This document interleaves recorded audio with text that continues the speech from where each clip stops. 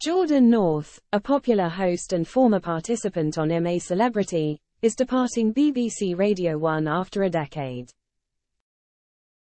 Radio 1 bid farewell to Jordan, acknowledging his memorable moments and influence on younger presenters. Fans expressed sadness at his departure, with many hoping for his success in future endeavours.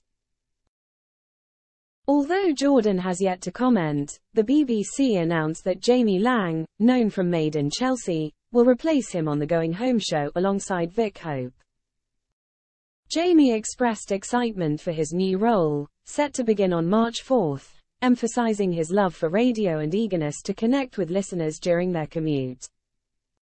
Aled Haydn Jones, head of Radio 1, praised Jamie's energy and passion for music, foreseeing an exciting addition to the drive time slot. Despite this, some fans expressed disappointment and even threatened to boycott the show, criticizing the choice of replacing Jordan with a celebrity figure.